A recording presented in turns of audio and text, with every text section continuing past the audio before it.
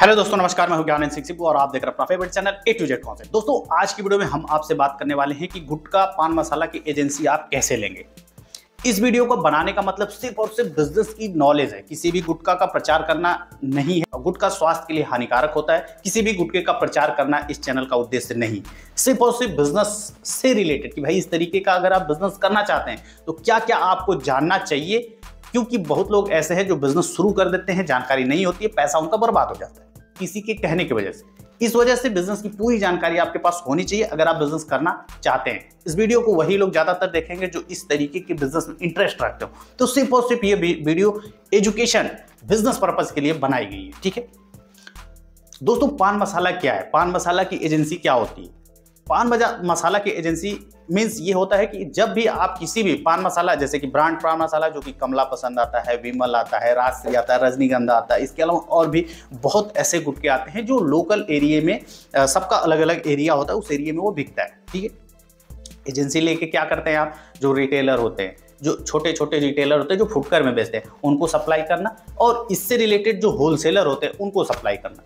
Dealership company इस वजह से देती है क्योंकि एक डीलर बना दी, उसके 10-15 किलोमीटर में जितने मार्केट आएँगे, जितनी दुकानें आएँगी, उस, उसको सप्लाई करना पड़ता है, ठीक? तो अलग अलग कंपनी अपना अलग अलग रेंज देती हैं अलग अलग इन्वेस्टमेंट होता है। अब इस तरीके का बिज़नेस करने के लिए आपको किस लाइसेंस की ज़रूरत है, सबसे पहले ये जानना ज़रूरी आपको गुटके का लाइसेंस प्राप्त करना पड़ता है, ठीक है?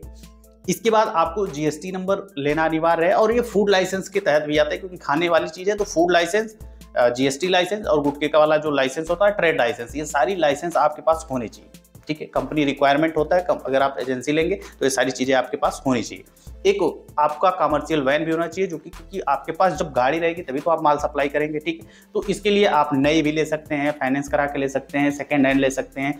कुछ टाइम आप भाड़े पे भी काम कर सकते हैं, जैसा आपका मन करे, उस हिसाब से। हालाँकि किसी ब्रांड कंपनी का लेंगे तो क्योंकि इसका, देखिए कंपनी काफ़ी मेहनत करती है एडवर्टीजमेंट में तो इसके प्रोडक्ट बिकते हैं। जो कि ब्रांड गुटके जिसको सभी लोग जानते हैं, ठीक है? तो आपको बहुत ज़्यादा मेहनत नहीं करनी पड़ती इसको बेचने के लिए। सिर्फ़ और सिर्फ़ दिमाग लगाना है कि हमारा प्रोडक्ट कैसे बिके और कितना बढ़िया आप सप्लाई करते हैं, ठीक है? तो इसके लिए आपको क्या क्या चीज़ें होनी चाहिए? पहली चीज़ भाई, आपको एक गुडाउन होना चाहिए जहाँ पे आप माल रखें, ठीक है? दुकान भी है तो अच्छा है, आप दुकान से भी सेल कर सकते हैं, जो लोग आपके यहाँ आएँगे, क्योंकि जिनका बजट अच्छा नहीं होता है, जो लोग बहुत ज़्यादा नहीं ले सकते, वो दुकान पे आते हैं, थोड़ा ही थोड़ा ले। तो एक दुकान, एक जगह होना चाहिए, गोडाउन होना चाहिए, जहाँ पे आप सामान स्टार्ट कर सकते भाई अच्छा खासा पैसा इन्वेस्टमेंट होता है।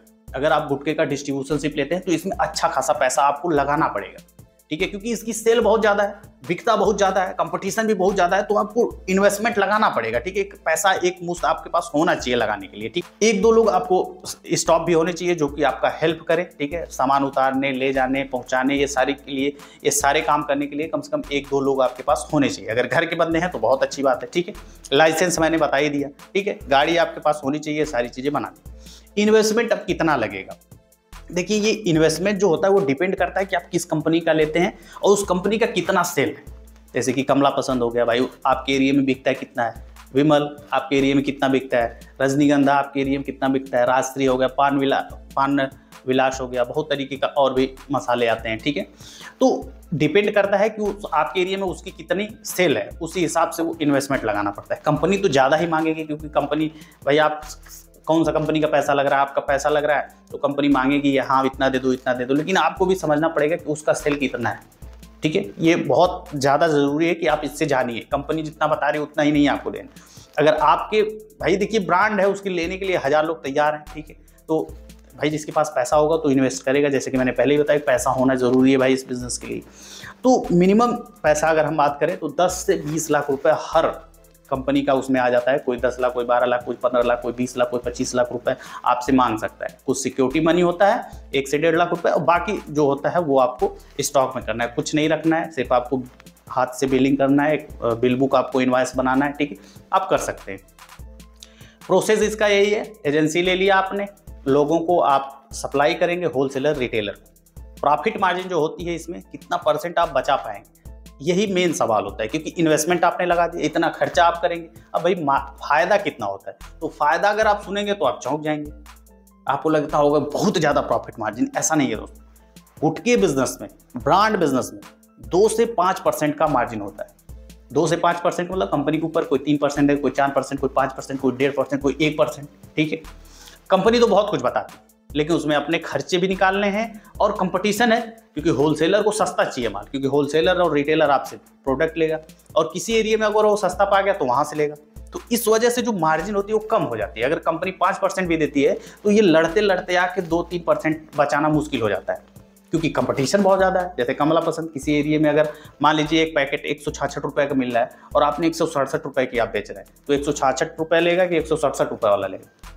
एक रुपये काफ़ी मायने रखता है, क्योंकि इसमें एक रुपये दो रुपये डेढ़ रुपये का ही प्रॉफिट मार्जिन होता है पीस मतलब डिब्बे है पीछे पैकेट पीछे, ठीक है? तो इतने ही मार्जिन होता है। लेकिन क्योंकि सेल बहुत ज़्यादा है, ठीक है? सेल बहुत ज़्यादा रीपर्चेजिंग बहुत ज़्यादा है, ठीक है? इस वजह से ये मार्जिन ज़्यादा हो जाती है।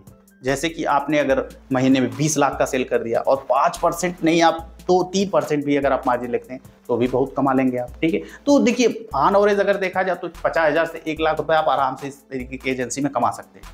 इसमें पैसा फंसता नहीं क्योंकि फ्लो बहुत ज़्यादा है, कैश है, कैश धंधा है और इसका रोटेशन बहुत फास्ट। और कैश धंधा है, कोई उधारी नहीं होती है ठीक है? आपने एक लाख का माल बेचा एक लाख आपको मिल गया। ठीक है एक लाख पाँच हज़ार मिल गया एक लाख दो हज़ार मिल गया। तो दो, हज़ार पाँच हज़ार जो आप कमा रहे हैं वो डेली का आपका प्रॉफिट हो गया। ठीक है तो बहुत लोग ऐसे हैं जो कि क्योंकि देखिए कैश फ्लो के धंधे में नुकसान नहीं होता। कम मार्जिन में थी लेकिन क्योंकि आ गया पैसा। अच्छा आपका पूंजी भी आ गया प्लस प्रॉफिट भी आ गया डेली का डेली आ गया। ठीक है तो ये इसी अब ये काम तब होगा जब आप ब्रांड बिज़नेस ब्रांड गुटके की एजेंसी लेंगे। अगर आप लोकल गुटके की एजेंसी लेके लेते हैं तो आपका फंसने का चांस पूरा है। क्योंकि देखिए, जो गुटका बिज़नेस आपको चलाना नहीं है, पहली चीज़, क्योंकि पैसा आप लगा रहे हैं तो बिज़नेस चलाने का काम आपका नहीं है। कंपनी आपका एडवर्टीजमेंट करती है तो जो, तब तो ठीक है, लेकिन बहुत ऐसे लोग हैं जो नान गुटके में फंस जाते हैं, नान ब्रांड में। ठीक है तो ऐसा नहीं करना है। नान ब्रांड अगर शुरू कर रहे हैं क्रेडिट कंपनी अगर दे रही है या बहुत कम इन्वेस्टमेंट लगाई। समझिए, अगर बिक रहा है तो धीरे धीरे शुरू करिए। बहुत लोग नॉन ब्रांड में बहुत ज़्यादा पैसा घुसा देते हैं प्रोडक्ट डंप हो जाता है, बिकता नहीं, वापस नहीं जाता, बेकार होने लगता है, क्योंकि ये जो प्रोडक्ट है दो तीन महीने ज़्यादा चलता नहीं। ठीक है तो दो तीन महीने में कांड हो गया, पता चला दस लाख, बीस लाख रुपए आपके गए। तो ऐसा नहीं करना है, क्योंकि बहुत लोग सोचते हैं, क्योंकि कंपनी एक ही डायलॉग मारती है।